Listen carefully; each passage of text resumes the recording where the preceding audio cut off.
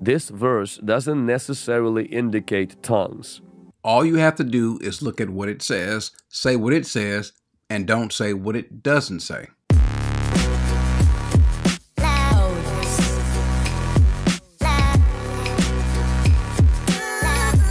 There are a lot of people who are just in love with tongues. As a matter of fact, for some, tongues have become an idol. Some people worship tongues more than they worship the word of God. That is sad. Now, am I saying that no one should speak in tongues? Well, I guess it depends on what the definition of the word tongues is. I won't rehash that right now. Uh, the Bible does say not to forbid it. I'm not forbidding it. I'm just simply saying do everything according to the way the word says, the way the word aligns it, the way the word spells it out. Don't do something that the Bible doesn't say do. And certainly don't take a text, twist the text to make it mean what it doesn't say. When we talk about praying in tongues, is there a such thing? I say no, we don't have an example of it, a biblical example of it. Now, there are those that will say yes, and we'll go to 1 Corinthians in a little bit, but they tend to go to one particular passage that is easily a passage that they should never go to and easily debunks what they're saying. Benefit number one is you're able to engage in spirit led prayer.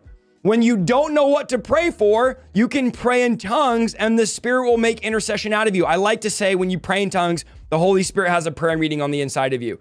Romans 8:26 says this. In the same way, the Spirit helps us in our weakness. We don't know what we should pray for, but the Spirit Himself intercedes for us through wordless groans. So this is that prayer language where the Holy Spirit is interceding, acting our or aligning our prayers with God's perfect will.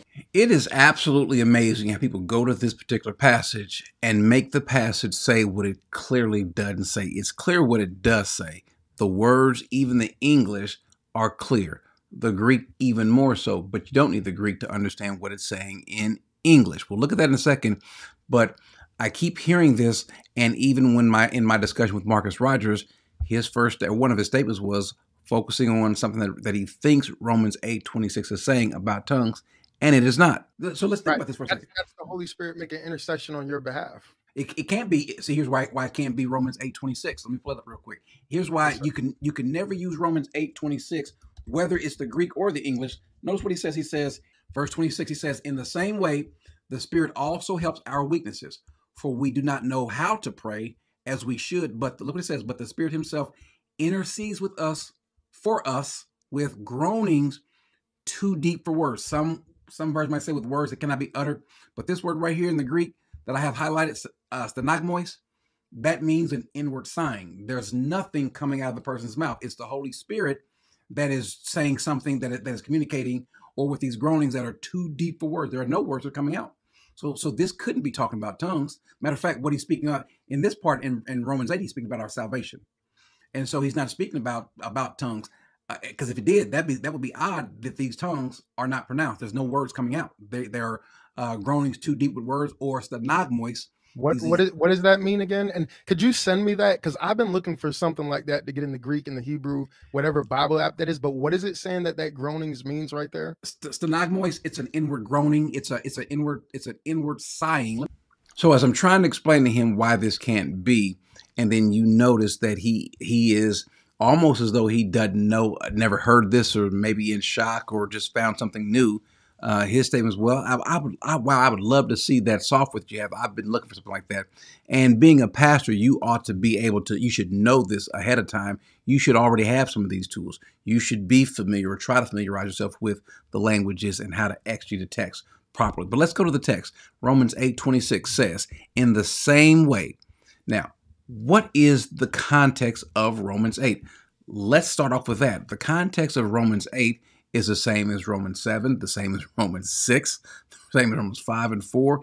Even when we talk about Romans 9, 10, and 11 as it relates to it regarding Israel, it's about salvation, being saved. And God is going to fulfill ultimately saving those people um, who he deems to. He, he has put these people in him and they will not fall away. We see that at the beginning of Romans 8, and the end of Romans 8. And then in the middle, Romans 8 26, he says, in the same way, the Spirit also helps our weaknesses.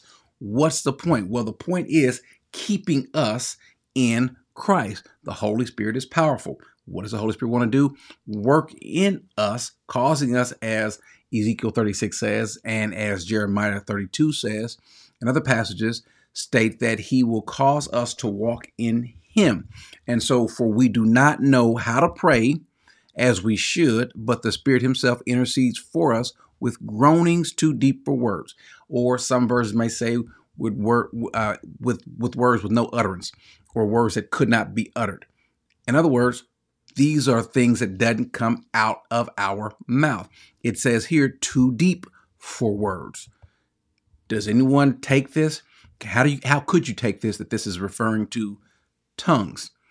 There's just no way. Remember, these are groanings that are too deep for words. So whatever the groanings are, these pains, these stenagmois, and we'll talk about this word in a second, the Greek word, there's no no verbalization of it. Well, so what does this word mean? Stenagmois. Stenagmois literally means an inward sighing. It's silent. It doesn't come out. So this could not refer to tongues. The problem is people still want to refer to it because they're just searching for an answer, any legitimate answer as to why someone should pray in tongues. He prays perfect prayers. He knows every detail about your character, about your mind, about your nature. And he prays prayers that are perfected just for you. And he prays with groanings, meaning passion, vigor. And those groanings cannot be expressed in words. Why? Because they're cries of the Spirit within me. Now, Romans 8:26 here is not specifically describing the gift of tongues, but it is talking about the source of that gift. So here he is saying that it doesn't really mean that, but we can use it to make it mean that. And then he's not the only one. So too does Vlad Savchuk. This verse doesn't necessarily indicate tongues. Romans chapter 8, verse 26 and 27. Likewise, the Spirit also helps in our weaknesses, for we do not know what we should pray as we ought. But the Spirit makes intercession for us with groanings that cannot be uttered. So this is not necessarily explicitly speaking about tongues, it's speaking about groanings.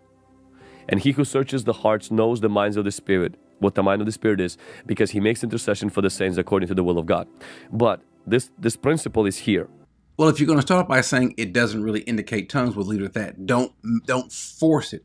The reason why they have to force it is because they are light on passages, text to state so. Now, I've been on record, and it's it, it's it's a, just a fact that I've stated things in some of these men in their hearing, and so their response uh, would be making a video or making a statement. Said, "Well, yeah, I can't get around what was said." But let me just use it as part of what the Spirit is trying to do. Well, in this case, the Spirit is speaking about keeping you saved. That's the point of this. Now, they go to 1 Corinthians chapter 14, verse 13. I say that there is no such thing as praying in a tongue. But wait a minute, Corey. We see in 1 Corinthians 14 that it does seem to say that someone is praying in a tongue. Well, let's look at the text then.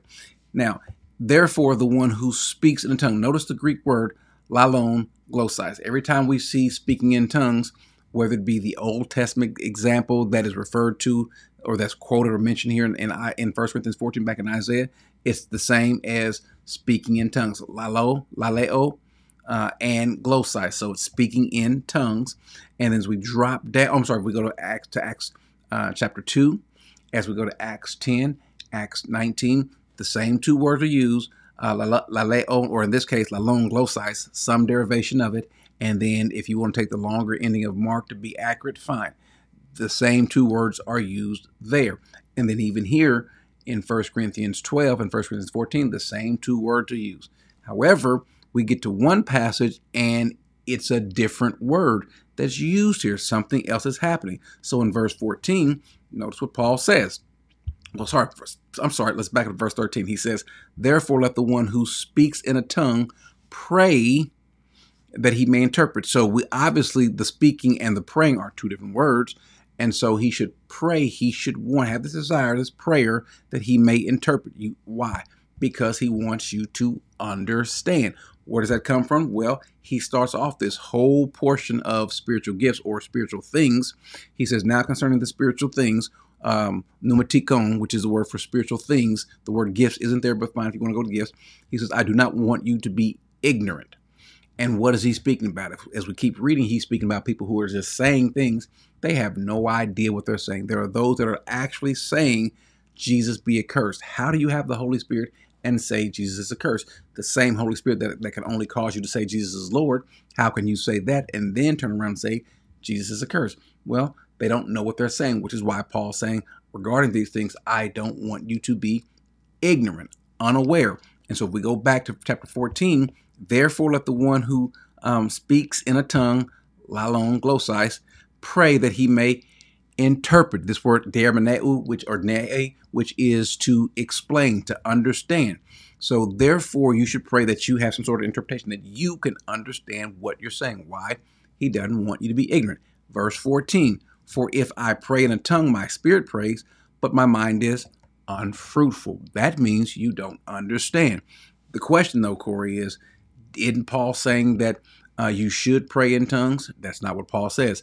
Paul says, he says, for if, iangar prosuk, proseuchomai, that is, if I, and then he uses the subjunctive of pray, may pray, if I may pray, if I happen to pray, or if, and this if is important, if I pray in a tongue.